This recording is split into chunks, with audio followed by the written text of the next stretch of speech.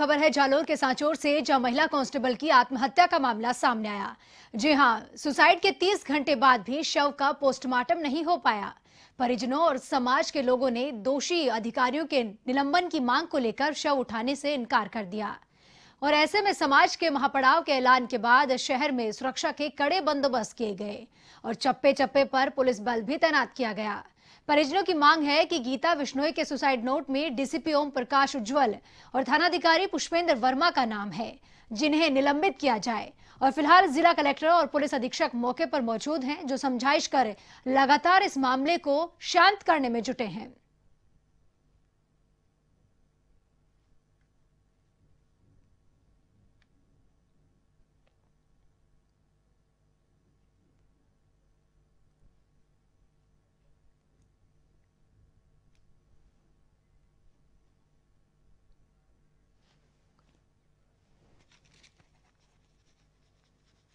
महिला कांस्टेबल की आत्महत्या का मामला लगातार गर्माता ही जा रहा है और इसी के तहत परिजनों ने और स्थानीय लोगों ने शव उठाने से साफ़ इनकार कर दिया और पुलिस प्रशासन के सामने दोषियों को सख्त से सख्त कार्रवाई की मांग की है। और इसी खबर पर विस्तार से जानकारी देने के लिए एवं संवाददाता पुखराज हमारे साथ फ़ोन लाइन पे मौजूद है। पुखराज, आम जनता पुलिस से ही सुरक्षा की उम्मीद करती है। लेकिन अगर पुलिस विभाग में ही ऐसी घटनाएँ सामने आए तो आम जनता आखिर क्या करेगी? जी, मैम, यहाँ पर बताना चाहूँगा कि ये सुसाइड होने के 36 घंटे के बीत जाने के बाद भी अभी भी परिजन एवं समाज के लोग, उच्च अधिकारियों को जो इसमें दोषी है, उसको बर्खास्त करने को लेकर, अपनी जिद पर अड़े हुए हैं। अभी भी शव को साथ लेकर धरने पे बैठे हुए सरकारी अस्पताल में छत्तीस घंटे बीत जाने के बाद भी अभी भी शव का पोस्टमार्टम न हो पाया है। कलेक्टर एस एसपी, उच्च अधिकारी सभी मौके पर मौजूद है। कई बार परिजनों से बात कर चुके हैं, लेकिन बार बार बात वार्तालाप विफल रही है। उसके बाद भी जी। समझाइश बार बार करने की कोशिश की जा रही है समाज के वरिष्ठ लोगों द्वारा लेकिन उनको एक ही जिद पर अड़े हुए हैं।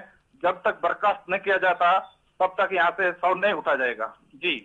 पुखराज ये मामला महिला कांस्टेबल की आत्महत्या का है और उसने साफ़ तौर पर सुसाइड नोट में दोषियों का नाम लिखा है थानाधिकारी का नाम लिखा है तो फिर पुलिस उन पर कार्रवाई करने में इतनी देर आखिर क्यों कर रही है?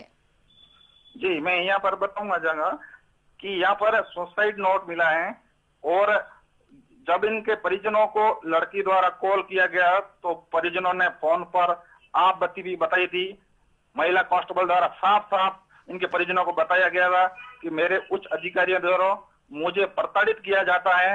मैं जीना चाहती हूँ, लेकिन मैं क्या करूँ? मैं जी नहीं पाऊँगी। पापा, मुझे माफ़ करना। मम्मी, माफ़ करना। परिवार के जो भी भाई ब्रदर है, मुझे माफ़ करना। मैं ज़िंदगी को हार चुकी हूँ। मौत को गले लगा रही हूँ। ऐसा सुसाइड नोट पुलिस ने बरामद किया है और अपने थाना अधिकारी ओपी उज्जवल यूएसपी पर साफ़ साफ़ इस पे कड़े लगाए हैं।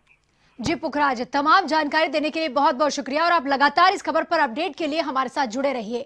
आप सभी को बता दूँ, एक महिला कांस्टेबल की आत्महत्या का मामला है और आत्महत्या करने से पहले सुसाइड नोट लिखा है, अपने घर वालों को फ़ोन कर आप बीती भी सुनाई है और साफ़ तौर पर उसने दोषियों के नाम सुसाइड नोट में लिखे हैं। लेकिन फिर भी पुलिस वाले अपने ही अधिकारियों पर कार्रवाई करने से बच रहे हैं। और आप देख सकते हैं तस्वीरों में कि थाने के सामने कितने भीड़ इकट्ठा है और सभी शव उठाने से इनकार करते हुए उचित कार्रवाई की मांग कर रहे हैं, दोषियों को निलंबित करने की मांग कर रहे हैं। और ये छावनी में तब्दील हो गया पूरा कस्बा।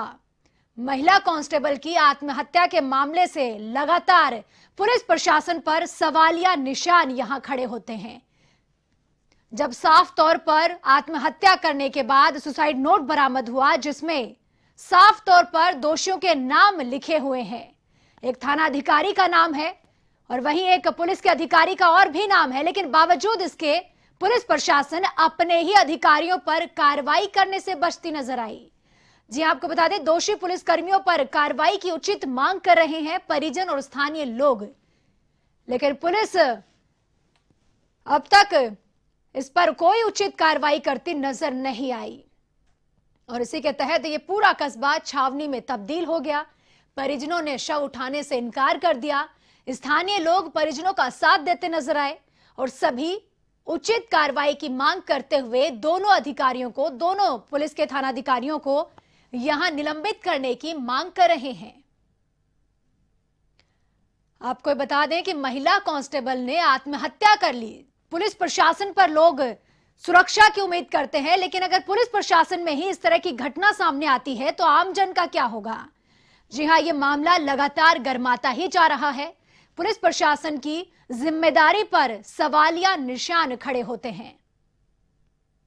और ये घटना सांचौर की है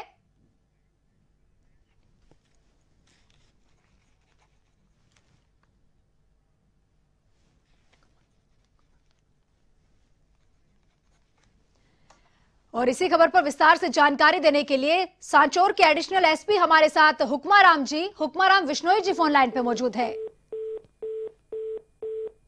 चलिए, तकनीकी खामी के चलते संपर्क हमारा इनसे टूट गया, लेकिन एक बार फिर से इनसे संपर्क करने की कोशिश करेंगे। लेकिन आप सभी को बता दूँ कि महिला कांस्टेबल की आत्महत्या का यह मामला है। लगातार हम आपको बता रहे हैं कि किस तरह से पुलिस प्रशासन अपने ही अधिकारियों पर कार्रवाई करने से बचती नज़र आ रही है।